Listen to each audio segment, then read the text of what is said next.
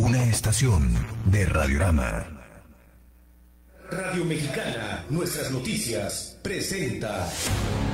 La reforma fiscal 2014 generó El más decreto de daños. en- beneficios para la frontera. La formalidad de las empresas es una tarea La economía americana avanza. La proveeduría maquilador sigue siendo el La gran concentración de poder de mercado en México. La transparencia gubernamental continúa. No es nada personal. Nada personal. Son solo negocios. Solo Negocios Radio. Las mejores entrevistas y análisis para lograr una toma de decisiones adecuada. Contáctenos. Correo electrónico. Correo arroba solonegocios.mx Página de internet. www.solonegocios.mx Facebook. www.facebook.com diagonal solonegocios mx Twitter. arroba solo negocios y recuerde no es nada personal son solo negocios Buenas tardes, buenas tardes. Ya estamos como cada lunes transmitiendo aquí desde las instalaciones de Radio, Ra- Radio Mexicana nuestras, nuestras noticias en el 1300 AM. Un gusto estar con ustedes este lunes 30 de mayo, último, casi último día del mes. Este, ahorita daré los avisos parroquiales que cada fin de mes les tengo que estar recordando a nuestros eh, clientes y a contribuyentes que tenemos que tener mucho cuidado para hacer los cierres mensuales de, en cuanto al SAT. Y pues bueno, mi nombre es Guillermo Soria y estamos estaremos transmitiendo el programa a través de las redes sociales, a través de la página de, del 1300 Radio Mexicana, a través de Solo Negocios Radio y también a través de CONAFI, la página personal, en donde estamos dejando que se queden estos programas grabados, ya que algunas de nuestros amigos de repente me, me preguntan o tienen dudas sobre lo que se platica aquí en el programa y pues eso nos ayuda a, que las puedan contestarlas o inclusive me pueden dejar alguna nota y yo con gusto en el siguiente programa eh, lo, lo comento con ustedes. Entonces, pues así estamos ahora. Eh, ten- tenemos algunas eh, dudas, alguna, bueno, algo, algo que me comentaron de la semana pasada platicamos de los sistemas de facturación. Hablamos de la importancia de tener un sistema de facturación confiable y surgieron algunas preguntas porque pues estamos a unos días, bueno, a un mes ya prácticamente de que entre el nuevo sistema de facturación o la nueva CFDI. No es el nuevo sistema de facturación. Al final de cuentas, el sistema de facturación es el mismo, sin embargo, todos los sistemas de facturación se han tenido que actualizar durante este año para que sean compatibles con la versión 4.0 de, del, del nuevo CFDI. Acuérdense que el CFDI es comprobante fiscal por Internet y, y es los requisitos que debemos de cubrir para poder eh, cumplir con, con nuestras obligaciones de emitir o recibir comprobantes fiscales. ¿Y para qué queremos emitir comprobantes fiscales o recibir comprobantes fiscales de acuerdo a las leyes vigentes? Pues para que estos sean deducibles. Entonces me platicaban, me preguntaron algunas preguntas, yo lo que, lo que para no abordar mucho ese tema el día de hoy, les comento, bueno, eh, no hasta el momento no hay ninguna prórroga, inclusive en un comunicado que hizo el SAT la semana pasada, eh, mencionaba que, pues están listos ellos para que entre en vigor el, el nuevo esquema a partir del, del primero de julio. Este debió de haber entrado el primero de abril, sin embargo dieron dos meses más de prórroga. ¿En qué nos afecta a todo mundo, a los mortales, como dicen? Eh, pues sobre todo donde estamos viendo que hay más problema es con los eh, empleados, con los asalariados. Eh, el CFDI, cualquiera que tiene un negocio, pues lo tiene que hacer, para eso tiene que tener sus sistemas actualizados. Hablamos con, de eso la, el, el programa anterior, de los sistemas, inclusive les hice algunos ejemplos de los sistemas que nosotros manejamos para, para trabajar desde la nube. Pero bueno, les decía, ¿a quiénes son los más afectados? Los asalariados. ¿Por qué? Y lo voy a tomar este, este dato rápidamente, lo he venido mencionando yo los últimos dos meses en cada programa y veo que todavía existen muchas dudas de los asalariados en cuanto a esto, inclusive de los mismos patrones o de algunos contadores o, o a lo mejor no contadores, pero auxiliares que se dedican a elaborar las nóminas. Eh, el CFDI de nómina o el recibo de nómina que se convierte en un CFDI debe cubrir o cumplir con los mismos requisitos que un CFDI de una factura o de una venta o un ingreso. o un egreso, es exactamente, tiene que tener los mismos requisitos. ¿Cuáles son los requisitos? Pues los principales que nos afectan en este caso, pues es el nombre completo de quien lo recibe, del receptor del contribuyente, de acuerdo a cómo está dado de alta en la página del SAT. Ese es el primer problema que está surgiendo en algunos casos.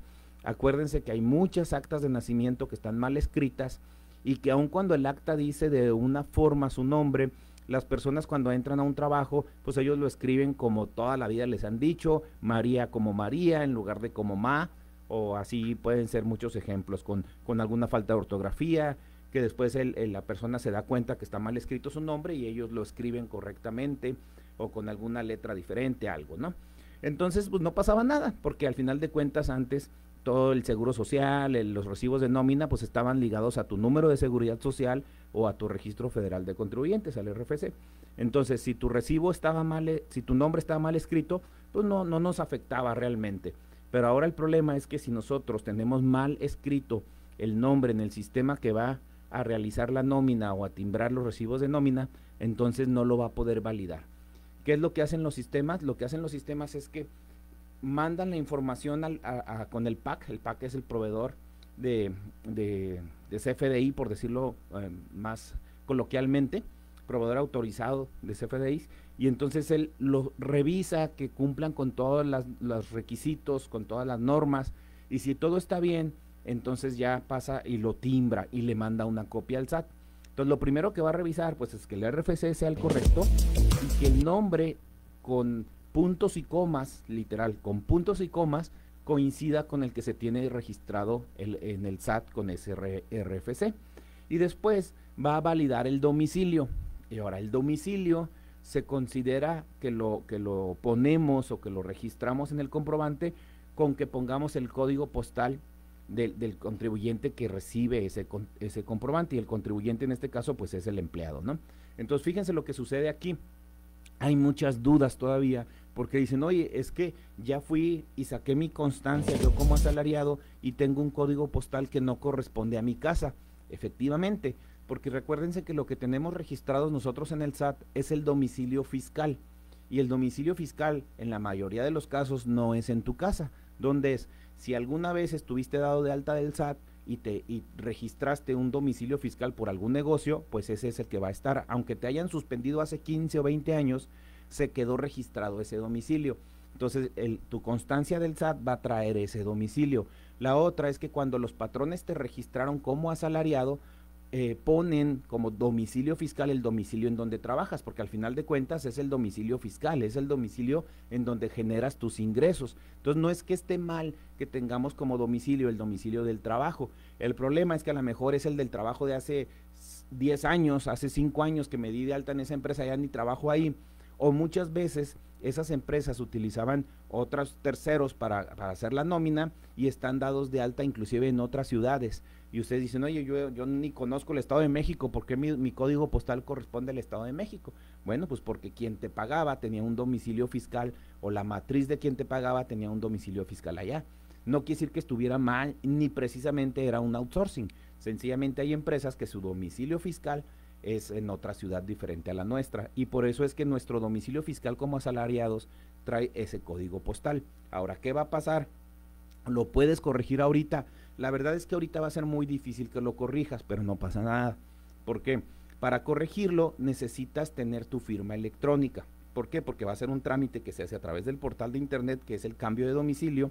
Sin embargo, para hacerlo tenemos que tener la firma electrónica. Entonces, ¿qué tenemos que hacer? Tenemos que que timbrar las nóminas con el código postal que nuestro empleado tenga registrado, no importa que no sea el que corresponde a su domicilio actual. Lo que queremos ahorita es que el SAT no nos rechace los, los recibos de nómina que vamos a timbrar en este momento. Entonces yo pongo su RFC correcto, su nombre con puntos y comas correcto y el código postal que tiene registrado en el SAT. Y con eso ya los demás requisitos, pues obviamente eso ya no nos interesan tanto a nosotros porque son pues de las prestaciones, de los impuestos, los cálculos y demás. Eso ya es lo que normalmente se hace en la nómina. Pero esos tres datos son los que tenemos que estar seguros que están bien. El RFC, pues eh, nos están tocando personas que ahorita con todo esto se han dado cuenta que tienen dos RFCs. Entonces, ¿qué tienen que hacer? Pues primero que nada, ver cuál es el correcto y homologar toda su información con este RFC. Entonces, es un problema que se está suscitando. El otro problema, pues, es el de la constancia, que los empleados no quieren ir por ella.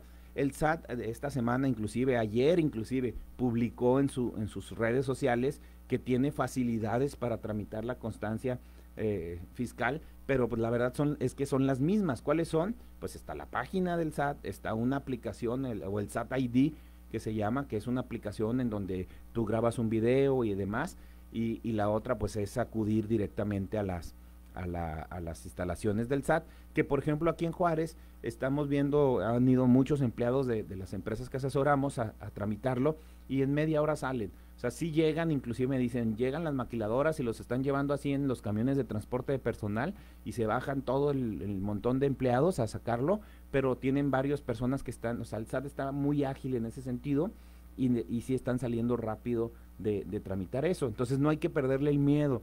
Me dicen, es que mis empleados no quieren ir, pues agarra y súbelos al carro y llévalos, porque no va a haber de otra, o sea, no es opcional. ¿Qué pasa si mi empleado no me da la constancia? Bueno, puedo correr con la suerte de que el código postal que tengamos, pues es el bueno. Ahorita ya pueden hacer una prueba, inclusive en la página del SAL hay una forma de validar los datos, es decir, pones los, su RFC, su nombre, su CURP, su, su código y te va a decir que si está bien o está mal. El problema es que si está bien, pues te va a decir que sí coinciden. Si está mal, nada más te dice que no coincide el código postal, pero bueno, ¿qué les costaba habernos dicho? No coincide, este es el correcto. Pero en fin, entonces por lo menos ya vas a saber con qué empleados vas a tener un problema. Y esos empleados pues los tienes que mandar a fuerzas a que saquen su constancia, de lo contrario no vas a poder hacer deducible esas nóminas. Vamos a una pausa, ahorita seguimos platicando ya con el tema del día de hoy.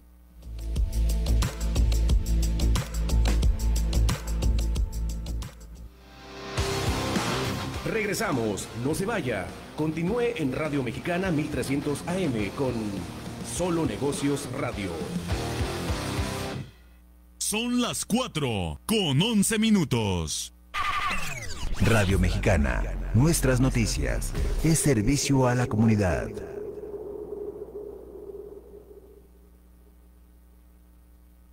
En la Cámara de Diputados aprobamos que el litio se garantice como patrimonio de México. Con la reforma a la ley minera, su explotación y aprovechamiento se reservan para beneficio exclusivo de la nación. Se protegerán el medio ambiente, la salud de las y los mexicanos, así como los derechos humanos de los pueblos y comunidades indígenas. En la Cámara de Diputados construimos acuerdos para que México sea un país más justo y equitativo. Cámara de Diputados, Legislatura de la Paridad, la Inclusión y la Diversidad. Ahora la igualdad sustantiva entre las mujeres y los hombres es en México un valor constitucional. Así, se asegura que mujeres y hombres tengan el mismo trato y oportunidades iguales. Goce y ejercicio de los derechos humanos y las libertades fundamentales. Una adición al artículo primero de la Carta Magna, aprobada por el Senado, dispone que el Estado garantice ese principio. Senado de la República. Sexagésima quinta legislatura. En el mar ahora la vida es más segura. Las capitanías de puerto supervisan que las embarcaciones respeten el área de bañistas, la velocidad permitida y la capacidad de pasajeros a bordo. No olvides el uso del chaleco salvavidas. Si vas a zarpar, avisa a la capitanía de puerto y consulta la información meteorológica. Acércate a las capitanías de puerto. Con ellas en el mar la vida es más segura. Secretaría de Marina. Gobierno de México. Radio Mexicana, nuestras noticias 1300 AM, ahora es la radio oficial de los indios de Juárez de béisbol. Y te invita a que sigas las acciones de la temporada 2022 con la crónica de Alfonso Danzagorta y un gran equipo. En el 2022 los indios de Juárez están en la radio oficial, Radio Mexicana, nuestras noticias 1300 AM y va por Juárez.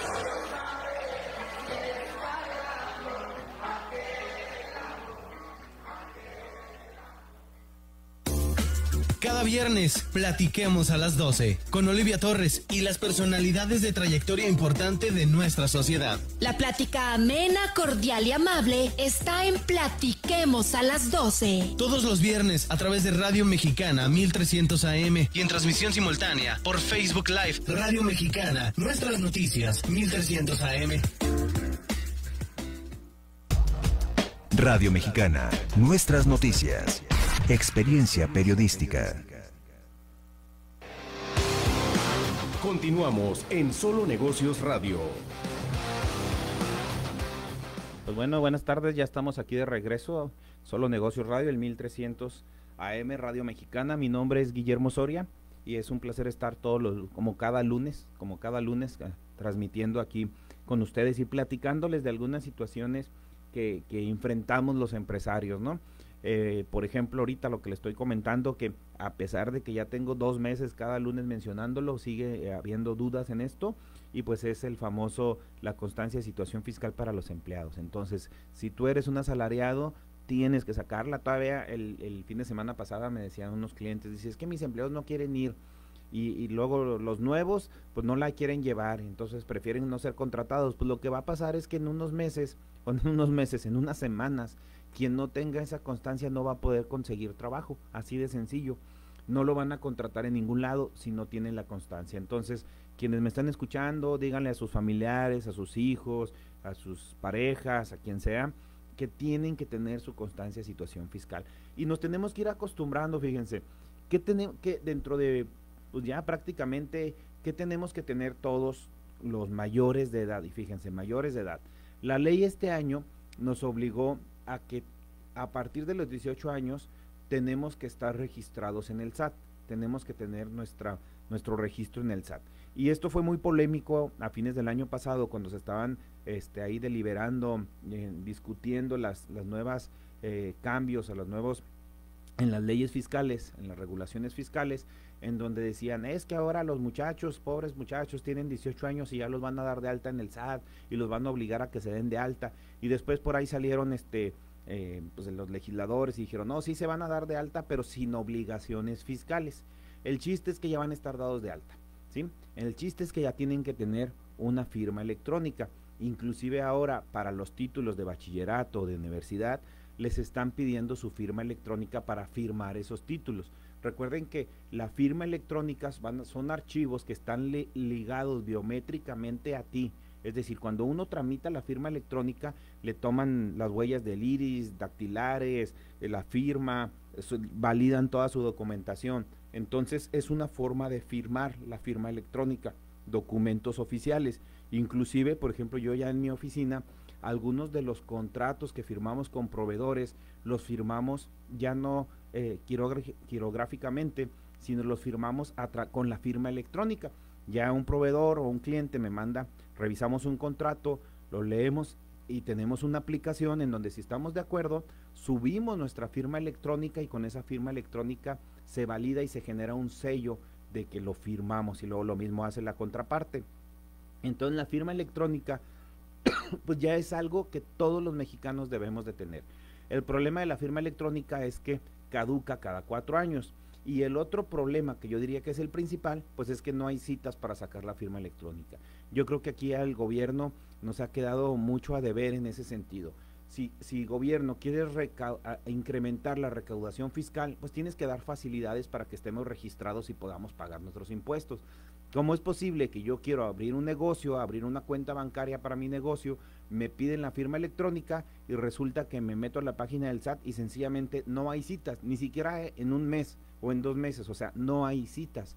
Entonces, ¿qué, ha, qué hacemos? Pues nada, cruzarnos de brazos, hacer una fila virtual que pusieron o irnos al mercado de negro a conseguir una cita. O sea, no es posible que lo más básico y lo más elemental para que podamos contribuir con nuestros impuestos y estar bien, no lo podamos hacer porque el gobierno no tiene la capacidad de, de atendernos, de darnos las, citas eh, eh, en tiempo, que existan citas eh, para poder yo hacer eso. Debería ser una cita a los tres, cuatro días. Inclusive le quitaron facultades a, lo, a los fedatarios públicos. Los fedatarios públicos podían generar la firma electrónica de las nuevas sociedades que constituían. Ahora ya no lo pueden hacer. Ellos en, tenían una aplicación con lo que por ejemplo, nada más validaban que el, representante legal tuviera una firma electrónica, validaban la persona moral y le generaban su firma electrónica a la persona moral. Ahora ya le quitaron esa facultad y a fuerzas se tiene que sacar una cita para la persona moral y luego acudir. Entonces, fíjense, ahorita en una en un periodo en el que todos tenemos que tener esa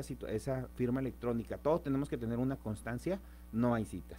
Y, y precisamente ese es el segundo punto que tenemos Todos como mexicanos deberemos de tener nuestra, nuestra firma electrónica, tenemos que tener validados nuestros datos fiscales a través de la constancia de situación fiscal. Entonces, si, regresando a lo de la, de la nómina, si ustedes ven que un empleado les trae una nómina con un código postal diferente, no se preocupen. Me ha tocado y me ha hablado mucha gente y me ha tocado ver contadores o auxiliares contables que están muy preocupados porque no pueden mandar a sus empleados a que corrijan su código postal. No, no lo tienen que corregir. El código postal no es en donde están viviendo ahorita, pero no quiere decir que esté mal. ¿Estamos de acuerdo? E, ese va a ser el código con el que se van a timbrar o a validar los, los recibos de nómina.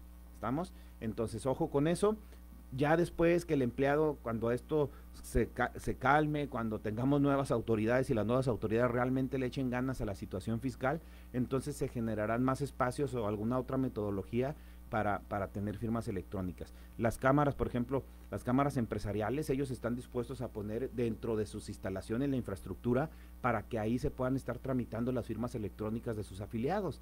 Yo creo que esa sería mucha ayuda para para el SAT, sin embargo, pues querer es poder, ¿no? Por alguna razón no, no le están dando la agilidad.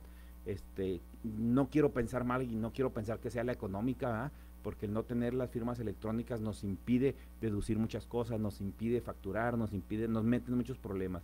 Y pues acuérdense que la, la, al final de cuentas la economía se, se mueve a través del comercio. Eh, los gobiernos cobran impuestos, mas no generan riqueza. La riqueza se genera aquí abajo con, con, el que paga la renta, con el que compra comida, con el que ofrece un servicio, con el que hace una reparación, el taller mecánico, el carpintero, el, el costurero, el cocinero, etcétera. Aquí es donde se genera la riqueza y aquí es donde se generan los impuestos. Entonces la autoridad pues tiene que, debería de darle las facultades para eso. pero peor, no, o sea, no conformes con eso, dicen, ahora todos para poder firmar su título de, de universitario o de preparatoria, de bachiller, tienen que tener la firma electrónica. Entonces imagínense la carga de trabajo que se le aumenta a esas dependencias al exigirles esa firma electrónica a todos los demás. Pero bueno, ya sabemos que ese es un problema, una frustración que tenemos todos los que estamos en el área contable, en el área de facturación, en el área de sistemas eh, financieros que tienen que ver con CFDIs, puesto que es difícil tramitar o conseguir una firma electrónica, renovarlo. Han, han dado algunas facilidades, no lo voy a negar, pero no son suficientes. O sea, realmente no son suficientes. Y, por más que yo he preguntado y tratado de preguntar, o sea, no entiendo. Si tú les preguntas a alguien aquí en, en, las oficinas del SAT, están como a la defensiva, ¿no? No, no, si tenemos todo, si hay gente, la gente hace la cita y no viene, pues claro, pues a veces pasan cosas y, la gente no puede acudir o, hacen tres citas, ¿no? Bueno, creo que ya no se puede hacer tres citas, pero sí se daba ese caso, ¿no? Antes de que la gente buscaba por todos lados sacar una cita y pues al final de cuentas se cancelaban una, ¿no? O había los, los, la gente que se dedicaba a vender citas y que lo que hacía es que registraba varios espacios y luego ya los, los vendía y a veces no acudían. O pueden pasar muchas cosas, sencillamente llego tarde, al final de cuentas te dan cinco minutos de tolerancia, entonces a lo mejor habrá que analizar de ese número de citas que dicen que la gente no acude, cuántas en realidad no acudieron o cuántos llegaron tarde. Acuérdense que ahorita vivimos en una ciudad que es un caos y, eh, y, trasladarnos a cualquier lado, pues muchos van con la creencia de que no los van a atender en tiempo y si algo tiene el SAT es que es muy puntual para, para la cita, ¿no? Si te dice a las 12 del día tienes la cita, hay que estar ahí 5 para las 12, 10 para las 12 porque te van a mencionar. Entonces hay que tener mucho cuidado con eso. Pero bueno, ya no quiero seguir hablando de este tema que ya se los he platicado mucho en los programas anteriores. Este, ya les he comentado que, que es importante que todos los asalariados tengan su, su, firma electrónica, su constancia de situación fiscal, para que puedan estar seguros que la nómina se va a timbrar. Ya estamos en la cuenta regresiva, ya nos faltan pues prácticamente cuatro semanas. Yo les sugeriría a las empresas que a partir de la segunda semana, si ya tienen todas las constancias, cambien a la versión 4.0, no se esperen a cambiar hasta el primero de julio o a la primera semana de julio, cambien antes para si se atoran con algún empleado, si se atoran con algún documento, inclusive en la facturación electrónica, lo hagan, soliciten a sus clientes su constancia de situación, porque también acuérdense que en el nombre de la factura ahora ya no se pone el SADCB o el SR, ya nada más es el puro nombre, ¿no? La gran empresa y nada más. Ese ADCB ya no se pone en las facturas este, y tiene que tener el código postal. Hay otras cosas en las facturas como este, el régimen tributario del que recibe la factura, que ahora no lo vamos a tener que saber. Pero bueno, eso viene en la constancia, así que si le pedimos a nuestros clientes la constancia para emitir la factura, vamos a tener toda la información. Pero bueno, hoy les quiero platicar en lo que resta del programa, que es prácticamente un poquito más de medio programa, de lo importante que son los estados financieros para las empresas. Y desgraciadamente yo me doy cuenta que la mayoría de las empresas no, no, no conocen lo de los empresarios. Y acuérdense que un empresario es desde la persona que se dedica a un pequeño puesto de comida, el pequeño taller mecánico, el sastre, eh, cualquier persona que vende algo tiene una empresa, es un empresario. Y acuérdense que, que se clasifican como pequeños, medianos empresas, las pymes, ¿no? Inclusive microempresas. Entonces, pero son empresarios. Entonces, cualquier empresario necesita tener información de su negocio ¿De dónde se obtiene esa información? Pues de los estados financieros. ¿sí? Yo les voy a poner un ejemplo. Una empresa, por muy chiquita que sea o muy grande que sea, es como manejar un avión. Vamos a, imaginarnos eso. Si es una empresa chiquita, pues imagínense que van a manejar una pequeña avioneta. Si es muy grande, pues imagínense que van a, manejar un, combo, un, jumbo jet de esos que, que pueden cargar hasta, hasta tanques de guerra. Y el piloto cómo maneja el, avión. El piloto va sentado ahí en la punta de la cabina, va enfrente, va al frente del avión, va dirigiendo el avión, va dirigiendo la empresa, si hacemos la similitud, y, va diciendo, pero tiene que estar verificando qué sucede a su alrededor y qué sucede dentro del avión. Entonces, y, si eso lo transferimos a una empresa, ¿qué, ¿qué, es lo que pasa? Pues entonces que los estados financieros se convierten en los instrumentos de ese piloto. Un piloto, ustedes visualicen una cabina de avión, está llena de botones, de medidores, de, foquitos, de palancas, pero todo te va dando señales de alerta, este, botones rojos, amarillos, verdes, flechitas y demás, ¿no? Bueno, pues eso mismo son los estados financieros para un pequeño negocio, ¿sí? Son los que te van a dar los indicadores, te van diciendo cuánto llevas vendido, este, cuánto está creciendo tu empresa, cuánto debes, cuánto te debes, en qué estás gastando, cuánto estás comprando, toda esa información. Sin embargo, en las empresas tenemos, o los empresarios, como la mayoría de los empresarios, yo creo que más del 90% de los empresarios no tienen una formación de empresarios. Es decir, estás al frente de un negocio porque el destino te puso ahí, porque eh, te quedaste sin trabajo y empezaste a vender algo en tu casa, porque eres bueno para hacer algo, pero viste que si tú lo vendes directamente ganas más que trabajando para alguien, entonces empiezas a arriesgarte y meterte en el mundo de las empresas, de los negocios y, tú mismo hacer tu propio negocio. Entonces, tú puedes tener una formación muy buena en lo que haces, pero podemos tener una formación nula o muy poco en la administración de un negocio, ¿sí? Todos tenemos los que tienen el privilegio de terminar una carrera, por lo general les dan algunas materias que tienen que ver con la administración de las empresas, pero hay carreras en donde eso es, se los dieron allá o lo vieron en la preparatoria y ya saben que lo que vemos en la prepa luego ni nos acordamos, ¿verdad? Entonces, te debieron de haber dado algunas clases de contabilidad básica, algunas cuestiones en ese sentido. Y con esas herramientas, pues tú ahora resulta que eres el administrador de una empresa. Yo siempre les digo, es increíble cómo a veces tenemos un muy buen, vamos a suponer, carpintero, muy buen carpintero, hace unos muebles perfectos, este que él envidia, trabaja limpio, trabaja en tiempo, este te da los precios justos. Olvídense, el carpintero ideal, esto sonó a fantasía, ¿verdad? Pero vamos a suponer que existe esa persona que es el carpintero ideal. Entonces empieza a trabajar en su casa y después le empiezan a hacer pedidos y demás y resulta que tiene que empezar a administrar su negocio. ¿Y qué va a pasar con eso? Bueno, pues ahorita vamos a saberlo después de la pausa comercial.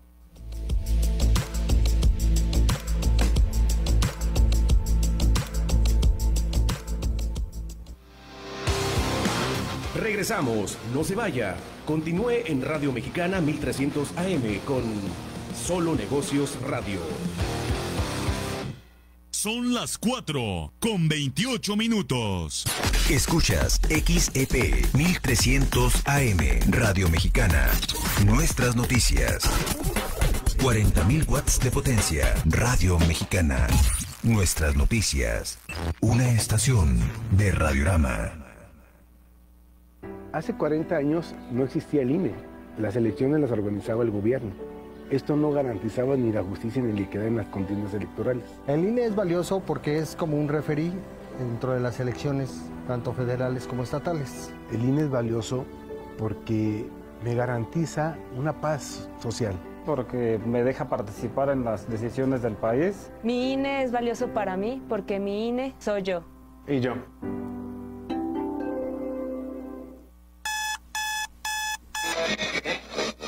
Noticias. Noticias. Entretenimiento. Entretenimiento. Deportes. Deportes. Salud. Salud. Cine. Espectáculos. Análisis político y deportivo.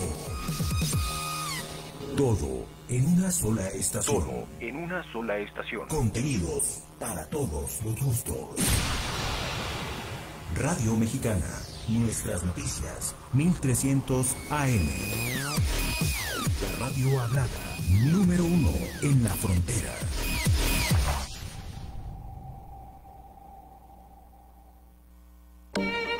Para estar bien por fuera, es importante empezar desde adentro. Despierta tu interior. Tiene para ti los temas que te ayudarán a vivir plenamente. Escúchanos todos los sábados a las 3 de la tarde a través de Radio Mexicana 1300 AM. Y en transmisión simultánea por Facebook Live, Radio Mexicana Nuestras Noticias 1300 AM. Los sucesos paranormales, ovnis, civilizaciones antiguas y los misterios que por siglos han intrigado a la humanidad están en Enigma 1300. De lunes a viernes a las 9 de la noche, sábados 8 de la noche. A través de Radio Mexicana 1300 AM, NN Nuestras Noticias. Reflexión consciente. El propietario del parque de atracciones hablaba de la ironía que suponía el hecho de que mientras los niños lo pasaban en grande en su parque, él solía estar, por lo general, deprimido. ¿Qué preferirías? le preguntó el maestro, ser un propietario de parque o divertirte. Ambas cosas, respondió. El maestro no dijo una palabra más. Cuando más tarde le preguntaron a este respecto, el maestro se limitó a citar las palabras que un vagabundo le había dirigido a un rico terrateniente. Tú posees la propiedad, otros disfrutan del paisaje. Soy Luis Ricardo Vargas. Relacionarte mejor con tu cuerpo y con la comida es posible. Mándame un WhatsApp al 656-200-9693, 200-9693 o encuéntrame en Facebook como Ricardo Vargas, psiconutricionista.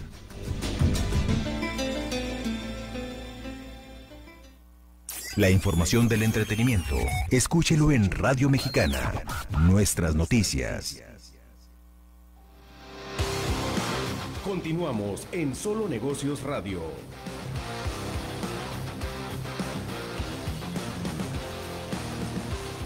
Buenas, buenas tardes, ya estamos de regreso aquí en nuestro tercer segmento. Estamos solo Negocios Radio, como cada lunes. Mi nombre es Guillermo Soria y ahorita ya estamos tocando el tema del día que son los estados financieros para las pequeñas empresas. ¿Cuál es la importancia de los estados financieros para las pequeñas empresas? O es más, ¿qué son los estados financieros? Y antes de irnos a pausa, le estaba platicando que imagínense que, que encontramos a ese carpintero ideal, que pues no sé si en otros lugares, porque aquí en la ciudad yo tengo años buscándolo y no lo, no lo he encontrado. Ese carpintero que es bueno para, traja, trabajar, que es limpio, que te cobra lo justo, que te entrega los, los, en los tiempos que te dice. Bueno, vamos a darle una tolerancia de dos, tres días, ¿no?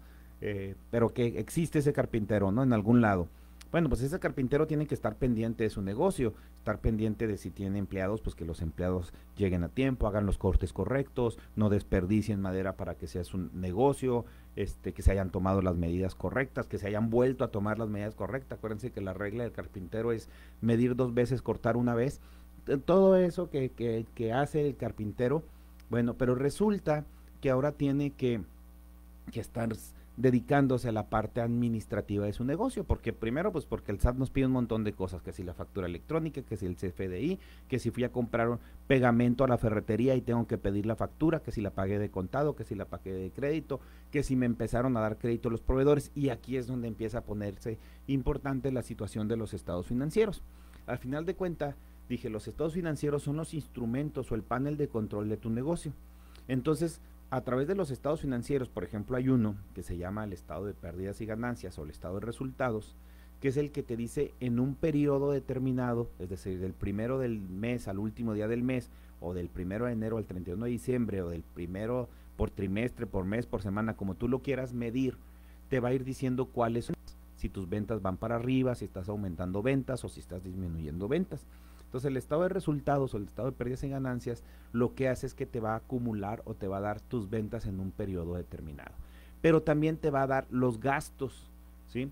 entonces tú vas a empezar a clasificar si tengo costos o tengo gastos. Y aquí empieza la gente a decir, bueno, pues que no es lo mismo costos y gastos. Y la respuesta es que no. Un costo es todo lo que tú compras en tu negocio para venderlo o para transformarlo y venderlo. Y un gasto es algo que que pagas para usarlo en tu operación, en la operación de tu negocio. El ejemplo clásico que tenemos, por ejemplo, de un gasto, pues es la renta. La renta, pues al final de cuentas es un gasto que yo la utilizo, no vendo el espacio, ¿verdad? Este, la luz la utilizo, no nos vamos a meter en detalles de que si una parte es un gasto indirecto de fabricación o etcétera, no. Por lo general un pequeño local, pues la luz es un gasto. Este, la papelería, el agua, ciertas cosas así, los servicios y todo eso, pues por lo general son gastos, ¿no? El seguro de, la, de las oficinas, el pago del contador, etcétera. Son, son, son cosas que tú compras para utilizarlas, el internet de la empresa, la papelería, todo eso, ¿no? Ese es un gasto y un costo, pues principalmente es la materia prima que utilizamos. En el caso del carpintero, pues sería la madera, los pegamentos, clavos, pinturas, todo eso, ¿no? Y luego viene toda la otra que son los equipos que tenemos en la empresa. Entonces, el estado de resultados lo que va a hacer es que nos va a decir si va a comparar nuestras ventas, le va a restar los costos y los gastos y nos va a dar un resultado. Un le llamamos de operación porque es la operación normal de tu negocio, ¿sí?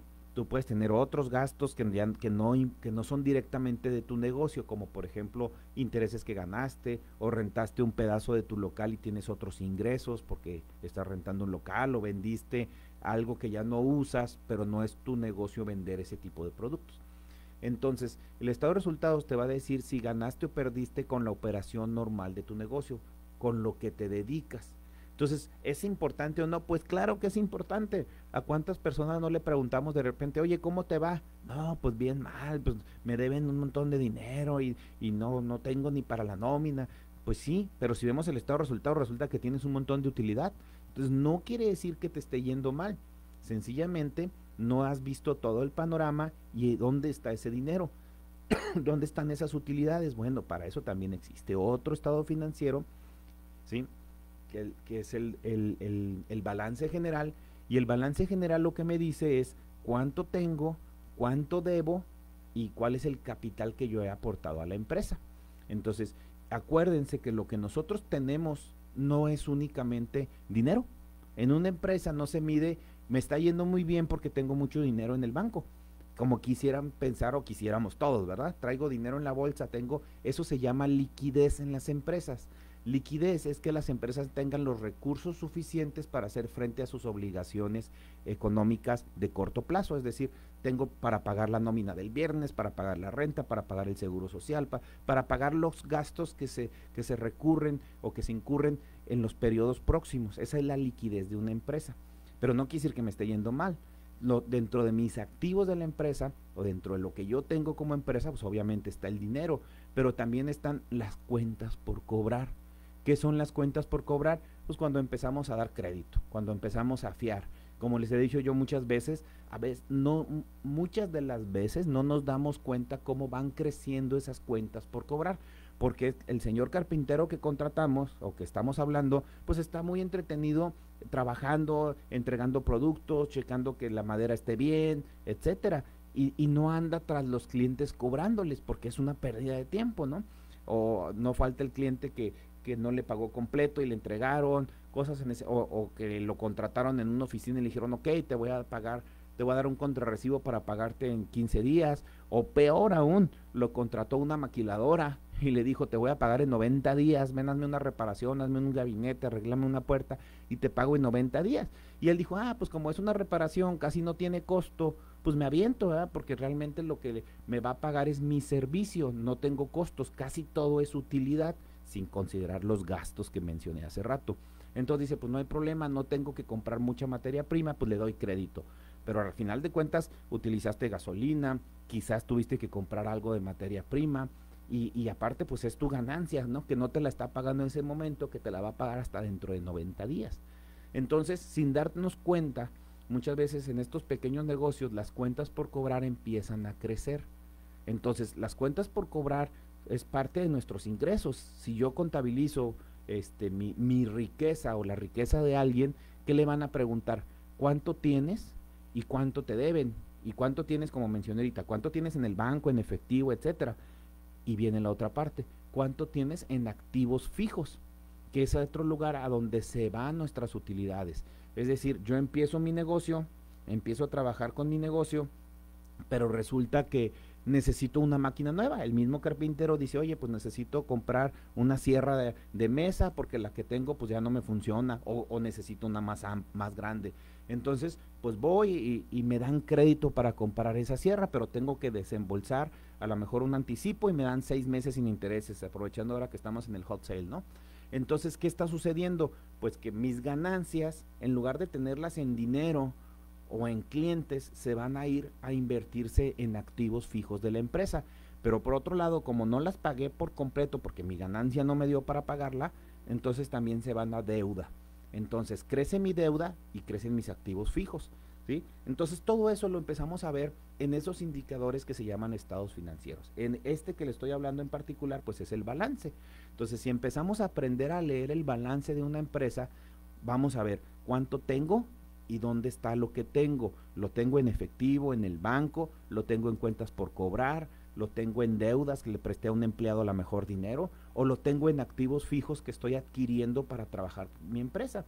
Y ese es uno de los principales problemas de las pymes, por eso es la importancia de los estados financieros para las pymes, porque normalmente las pymes somos esas empresas que empezamos a trabajar con lo que tenemos en la casa y vamos, a y vamos creciendo. Empezamos a hacer pasteles en el horno de la casa, con la batidora de la casa, con la licuadora de la casa, en el refrigerador de la casa y sabes que ya me piden más, ah, pues voy a comprar otra, una, una licuadora más grande. ¿Con qué dinero la compraste? Con tus utilidades. Entonces, tus ganancias no las, no las ves, entre comillas, no las ves, pero ahí están porque con eso compraste esa licuadora, compra, con eso compraste ese horno, compraste moldes, etcétera. Entonces, tú tienes un patrimonio más grande, ¿sí? Nada más que, como les digo, no está en dinero, está en activos fijos, ¿verdad? Está en equipo, o lo que te quedaron a deber, o lo que le, prestaste a uno de tus empleados, que también es algo que tú tienes, es, es patrimonio, es riqueza, aumentó tu riqueza, ¿estamos de acuerdo?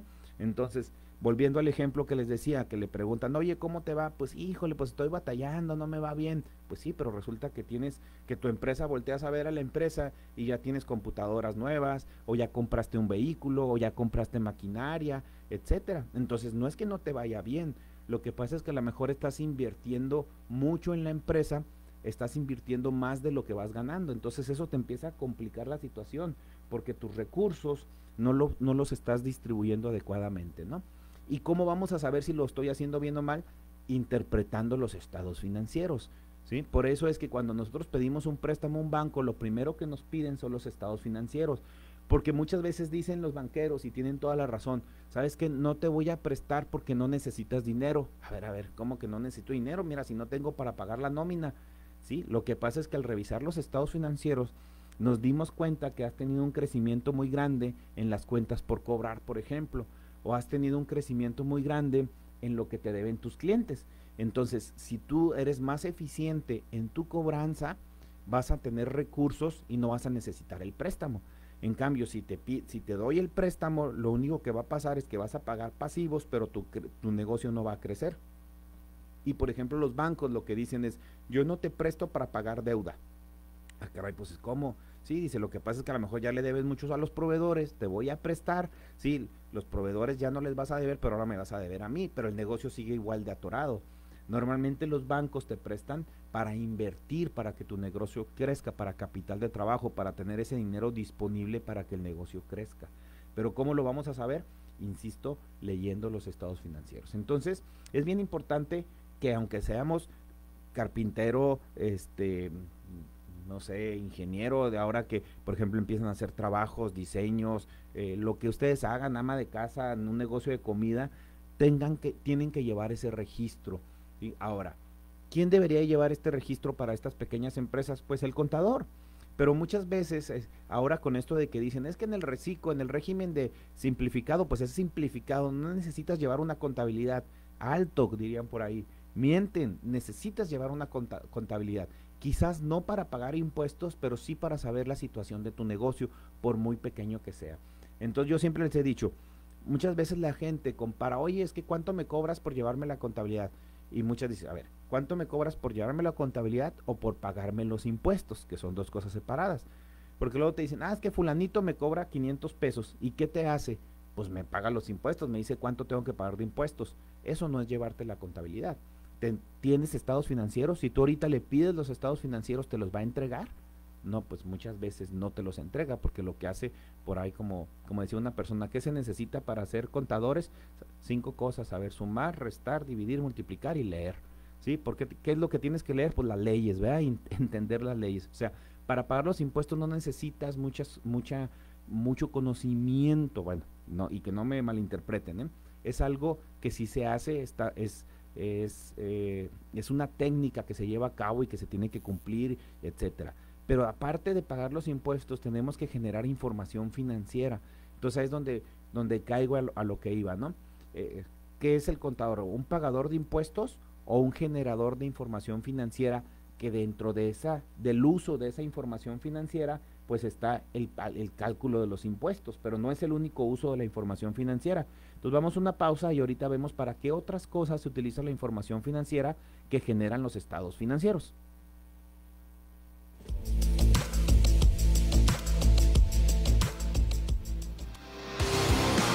Regresamos, no se vaya. Continúe en Radio Mexicana 1300 AM con Solo Negocios Radio.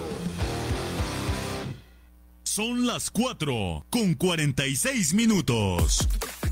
Radio Mexicana, nuestras noticias. Información oportuna. ¿Buscas empleo?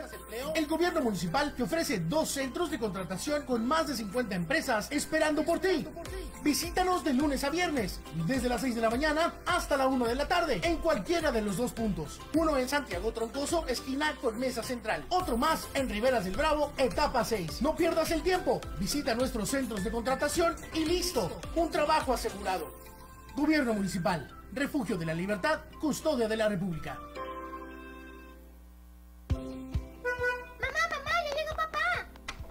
Hijo, feliz cumpleaños. Mira, te traigo un regalo. ¿En serio? Quiero verlo.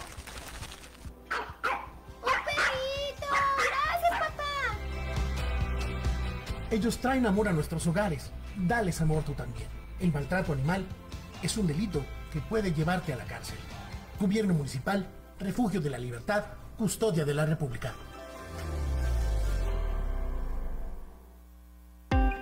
Les habla Berenice Aguilar, comunicóloga, locutora, conductora y productora. En lo personal, me gusta conectar con las historias y experiencias de vida, porque cada una me brinda la oportunidad de transformarlas en charlas valiosas con especialistas. Así, todos ponemos un granito de arena para que las personas puedan vencer los retos de la vida diaria. Por eso, te invitamos a escucharnos en Conecta tu Vida, de lunes a viernes a las 10 de la mañana, a través de Radio Mexicana. Nuestras noticias. 1300 AM. La radio hablada. Número uno en la frontera. En el béisbol, los indios de Juárez están en Radio Mexicana. Nuestras noticias en el 1300 AM. Hola, te saluda Miguel Rodríguez, segunda base, y te invito para que sigas toda la temporada de Indios de Juárez a través de Radio Mexicana. Nuestras noticias en el 1300 AM. Y va por Juárez. Sigue todos los juegos de los indios de Juárez en la temporada 2022 en Radio Mexicana. Nuestras noticias en el 1300 AM. Conecta tu vida tiene para ti lo mejor del día.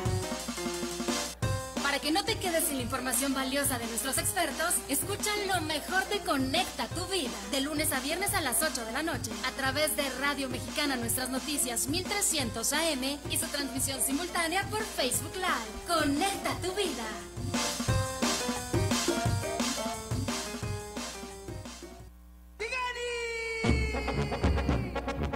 Los sectores sociales, los temas de interés general y las notas que circulan en la red forman parte de Del Dicho al Hecho. El único espacio que retrata en palabras la vida pública. Alonso Rojas, el Malilla, te espera de lunes a viernes a las 6 de la tarde a través de Radio Mexicana 1300 AM y en transmisión simultánea por Facebook. Radio Mexicana, nuestras noticias 1300 AM.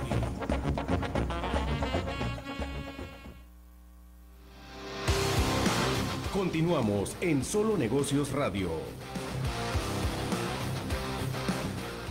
Pues listo, ya estamos de regreso. Muchas gracias a quienes me están siguiendo, a quienes me están escuchando a través de, del 1300 AM Radio Mexicano, a través de las redes sociales. Aquí quienes me han estado ahí dando like en la página, gracias. Este, aquí estamos pues tratando de darles algún algo que nos pueda servir para mejorar nuestro negocio, ¿no? Y el día de hoy me tocó platicar o quise platicar de los estados financieros y ahorita regreso al tema que dejé a medias, pero el por qué quise platicar de esto, porque me he dado cuenta de que muchos empresarios no tienen la menor idea si están ganando o están perdiendo.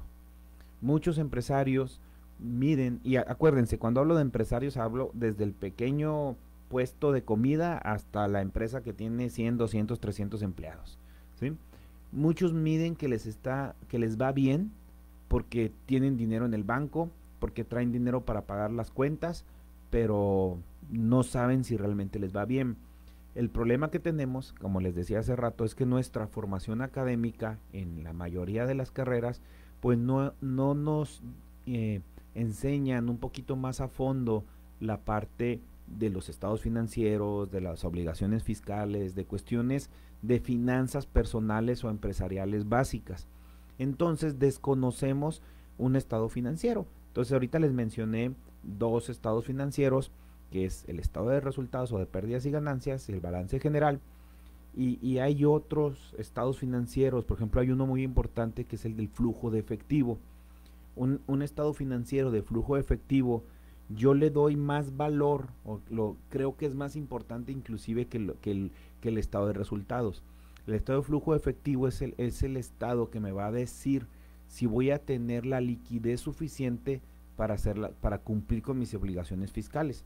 Fíjense, una característica de los estados financieros es que registran lo que ya sucedió. ¿sí? O sea, son históricos. Quiere decir, ahorita les hablaba, el estado de resultados habla de las ventas, las ventas en un periodo determinado, de enero, de febrero, de marzo. Entonces, ya los gastos y si gané o perdí en ese periodo, ese es el estado de, resultados, de pérdidas y ganancias. Y luego está el balance, el balance es un, es un estado financiero, le llaman estático, es decir, es como una foto en ese momento.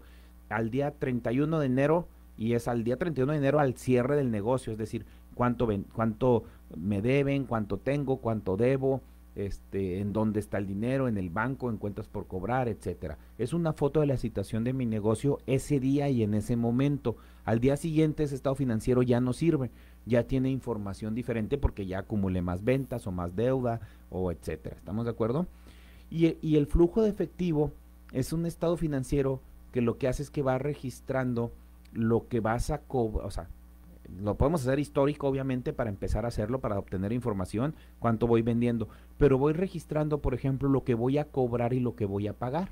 Si yo ahorita sé que hice una venta y que me van a pagar en 30 días, me van a pagar el mes que entra, entonces yo registro en mi estado financiero de flujo efectivo que el día 30 de junio voy a recibir 50 mil pesos. Pero también registro que el día 17 de junio tengo que pagar los impuestos, tengo que pagar el seguro, tengo que pagar a proveedores.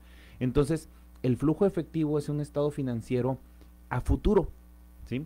y puede ser a corto, a mediano o a largo plazo. Normalmente es a, a, corto y mediano plazo.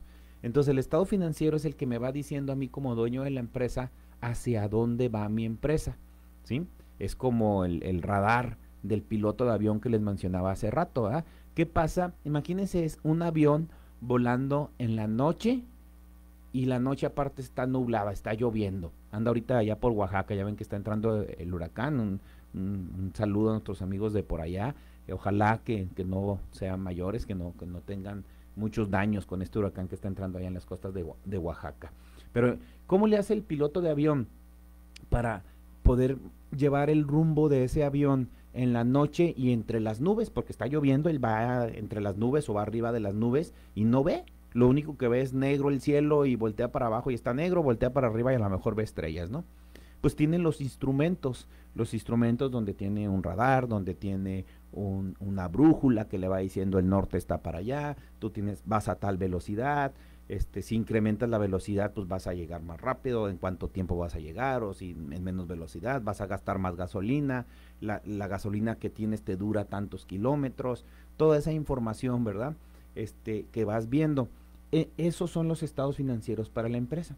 Entonces el estado financiero del flujo efectivo, que normalmente, fíjense, no lo hace el contador fiscalista, el, el que te paga los impuestos, eso lo tiene que hacer como que el administrador que está dentro de la empresa o puedes basarte en un contador, pero pues tendría que ser un contador que esté, que conozca la información de la empresa en su momento. El, cuando nosotros contratamos un contador para que nos pague los impuestos, lo que hacemos es que le, le llevamos, como dicen, a toro pasado.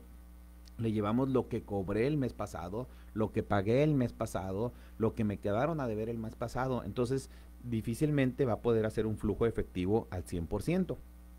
Va a tener alguna información porque sabe que traes cuentas por cobrar, pero a lo mejor él no sabe con esa información que tú le presentaste exactamente qué día te la van a pagar. Eso ya la sabe tu personal de cuentas eh, de cobranza, etcétera. Entonces, ¿cuál, esa es la importancia de este estado financiero, el, el, flujo de efectivo, que serían los tres estados financieros básicos. Mencionan que hay cinco estados financieros básicos, pero estos tres son los más importantes. Hay otro que el origen y aplicación de los recursos. Ese estado financiero yo lo utilizo cuando eh, uno de mis clientes le digo, oye, mira, aquí está la situación, sobre todo ahora que pagamos la declaración anual, que pasamos impuestos y demás. Oye, pues tienes que pagar tanto de, impuestos sobre la renta anual, tienes que pagar PTU, ahorita que está de moda, etcétera. Y, y lo primero que me dice el cliente es, no, estás mal, yo no tengo dinero. ¿De dónde sacas que yo gané ese dinero? Estás mal, algo está mal. Es más, hoy en la mañana tuve un cliente que llegó y me dijo, oye, vengo a revisarlo el pago de los impuestos porque está mal y ya dos, tres números que vimos y se dio cuenta de que pues estaba bien, sencillamente no estaba contemplando todo el panorama.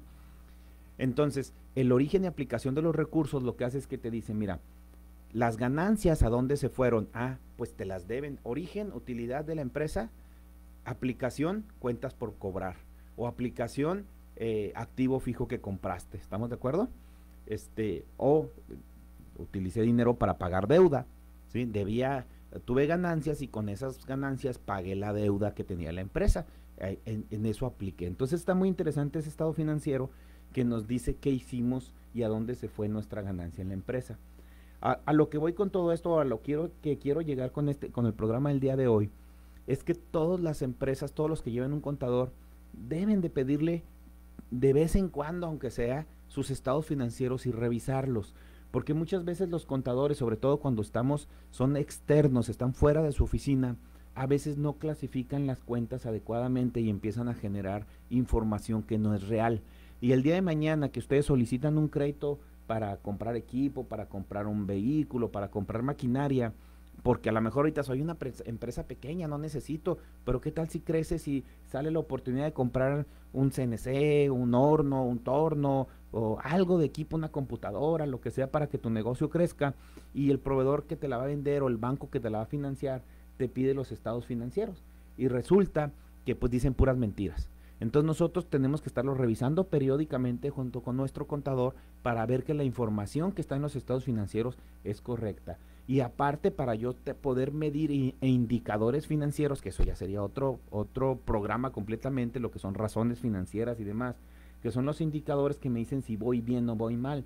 van midiendo la deuda, van midiendo el capital de trabajo, son indicadores, son las lucecitas que prenden en ese panel de control del piloto que me va diciendo hacia dónde va la empresa, si voy muy rápido, si voy muy lento, si voy de lado, si, si se me está yendo la empresa de las manos. Esos indicadores para eso nos sirven. Entonces, si ustedes tienen un buen contador, les debe de dar esa información financiera cuando ustedes se la soliciten y es válido que se junten una vez con él de al mes, al bimestre, al trimestre a revisar esa información financiera y que ustedes aclaren las dudas que puedan tener con la información financiera que les generan su negocio. Acuérdense que todos los que tenemos un negocio, pues tenemos que saber si mi negocio es rentable o no es rentable, porque a veces creemos que es rentable y no es rentable, o al revés, creemos que no estamos ganando y resulta que estamos ganando, pero pues lo estamos invirtiendo en el negocio y no sabemos cómo estamos como empresas. Entonces, pues con esto los dejo el día de hoy. Es un gusto platicar con ustedes. Estamos a la, a la orden. Si tienen alguna duda, nos la pueden dejar en las redes sociales y con todo gusto la contestamos o la platicamos en el siguiente programa. Recuerden, mi nombre es Guillermo Soria. Estamos en Solo Negocios Radio y esto eh, no es personal, son solo negocios. Nos vemos la semana que entra. Un gusto estar con ustedes.